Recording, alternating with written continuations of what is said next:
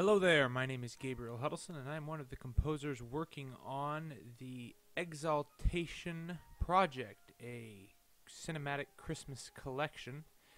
I am right now working on an arrangement using themes from O Come, O Come Emmanuel and Joy to the World. And the basic premise of this piece is I wanted to paint a picture beginning with the longing of, well, the whole earth for the coming of the Messiah and the reconciliation between God and sinners.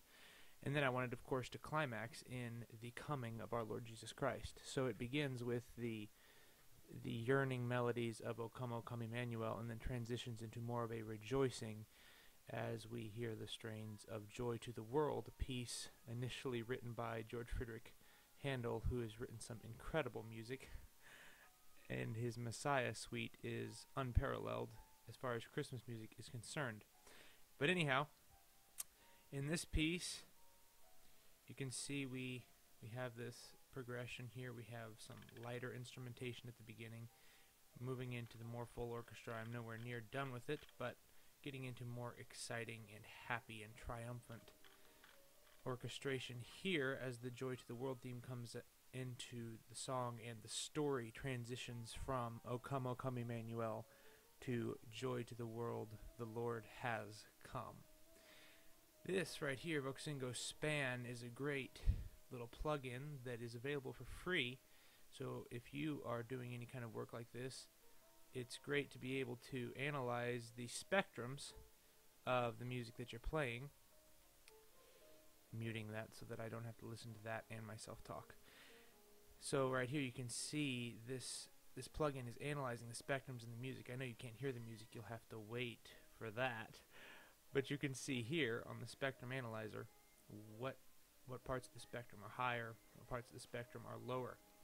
I work in Logic Pro X, so that is the digital audio workstation you're looking at here.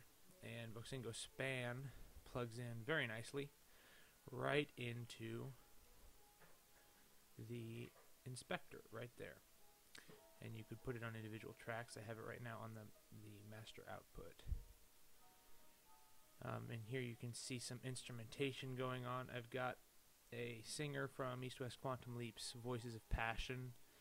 I yeah, I've named my singer uh, this is a santur, which gives it a nice ethnic kind of Middle Eastern sound. And then we've got some more traditional Western orchestration with pizzicato violins, staccato violas, and so on.